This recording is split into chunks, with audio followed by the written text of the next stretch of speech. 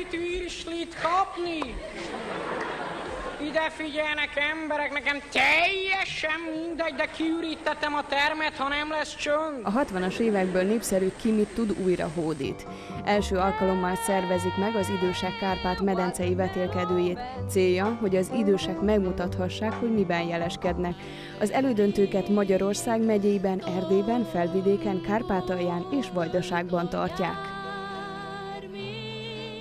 Magyarországon már évek óta szerveznek időseknek különböző kimitudokat, vetélkedőket, viszont olyan még nem volt, hogy egységesen az egész Kárpát-medencében, egyrészt egységesen az országban, másrészt meg a határon túli időseinket is bevonjuk ebbe a folyamatba.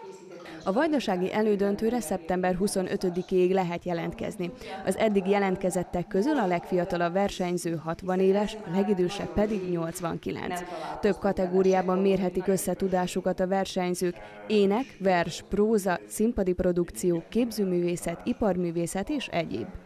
Szeptember 29-én vasárnap a délután 2 órakor kezdődnek a színpadi produkciók, ami azt jelenti, hogy a kiállítókat, illetve azokat a jelentkezőket, akik iparművészeti, illetve képzőművészeti alkotásokkal jelentkeztek, azokat már 11 órától várjuk egy kiállítás elkészítésére, és két órától nyitott a közönség számára a rendezvény amire a belépés díjtalan. A Magyarországi Emberi Erőforrások Minisztériuma 20 millió forinttal támogatta a rendezvényt. Az országos elődöntőt október 21-én és 22-én tartják Pécsen, a döntőt pedig Budapesten az Operett Színházban november 22-én.